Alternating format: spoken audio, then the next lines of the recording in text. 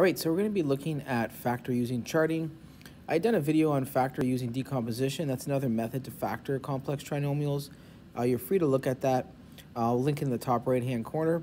Um, charting does have its advantages, and as we go through these problems, uh, we can see when charting is actually easier than decomposition. So again, notice here uh, we have a complex trinomial. I can't factor this 2 out. It's not divisible by 11 uh, and 15. I can't factor it out, so I can't get a simple inside, so we have to factor this, and we're going to do this using charting. So using charting, um, draw yourself a table, and if you take a look here, you write down all the factors of 2. So you have 2 times 1 and the flip. Now that's it. It's a really easy question so far. Uh, that's 2 and 1 and 1 and 2. Likewise, you make yourself a chart and you write down all the factors of 15. So you have 15 and 1. I've got 3 and 5. And now you don't have to put the flips. Like I don't have to write a 5 and a 3 and a 1 and a 15. Uh, the reason for that is you've put the flip here, so it's not necessary to flip these numbers as well. Okay, so what do you do with these? Now that you have these, what you're looking for is looking for combinations of columns such that if I multiply the diagonal terms, multiply the diagonal terms, so 2 times 1 is 2, um, right? 2 times 1 is 2, and then 1 times 15 is 15, and I add these together, I get 17. It has to equal the b value. So in this case here, you can see it doesn't, so this combination doesn't work. Now we're going to look at, okay, let's take the first column, and I'm going to try the first column with the second column. So if I do the first column with the second column, 5 times 2 is 10, and then we'll do 1 times 3 is 3. If I add these, I get 13. Also no good. Okay, now I'm going to try the second column with the first column. So combining these two together, you get 1 times 1 is 1. 2 times 15 is 30. Also no good. And lastly here, second column with second column. 1 times 5 is 5. 2 times 3 is 6. If I add 6 and 3, I do get 11. Once you find the combination that works here, the only thing you do is you read this from left to right. So by that, I mean it's going to be 1w plus 3 1w plus 3 times 2w plus 5. 2w plus 5. And obviously order doesn't matter. You can rewrite it as 2w plus 5 times w plus 3. Um, these are all equivalent. Okay, so this is a process for factored by charting. Obviously, you look at more of these, uh, becomes much easier to do. Uh, the first time you see it can be a little confusing and seem like decomposition uh, would be much more efficient, but that is not always the case. Let's take a look at another. So again here I have a complex trinomial. I can't factor that 6 out, so I'm going to write all the factors of 6 and their flips. So 6 times 1, 1 times 6, 3 times 2, 2 times 3. So 12 and 1, 2 and 6, 3 and 4. Now notice here I want to make an observation. Um, these numbers are all positive and these numbers are all positive. So when I multiply the diagonals and add them together, I'll never get a negative number. I need to get a negative 17. So what you do when you're uh, in that situation is just tack on minus signs on these. The product of these is still positive, but now you have the option of actually getting a combination that'll come out to be negative 17. So as you go through these combinations, you try these all out, you'll find that this combination with this one is the one that works. So if you take a look here, 2 times negative 4 is negative 8. 3 times negative 3 is negative 9. If I add these, I get negative 17. So therefore, this is going to factor into what? Well, again, you read this from left to right. It's going to be 2h minus 3, 3h minus 4. And now we're factored. All right, so same idea here. Um, I have a complex trinomial, so I'm going to write down all the factors of 4 and their flips. So 4 and 1, 1 and 4, and 2 and 2. And likewise, all the numbers for 15. Now 15 and 1, 3 and 5. Now notice again, I have a minus sign here.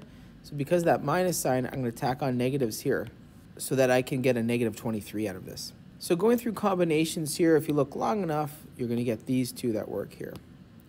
Now notice here, 4 times negative 5 is negative 20.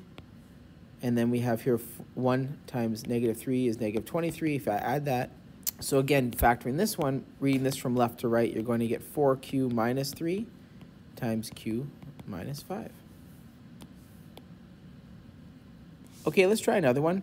So again, looking here, you want to look to factor this first, right? So again, every time you get a quadratic, you should take a look at the quadratic and say, okay, is there a GCF? The previous three, there wasn't a GCF.